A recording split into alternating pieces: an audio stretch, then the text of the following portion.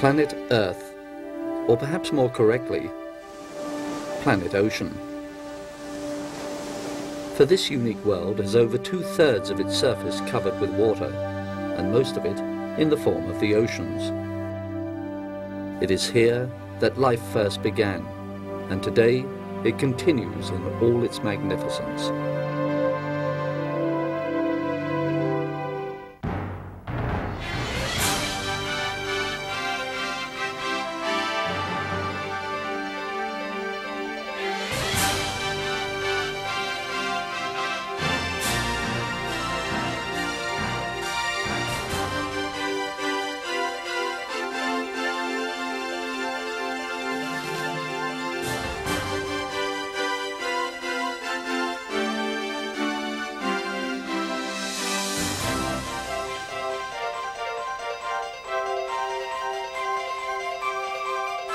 Thank you.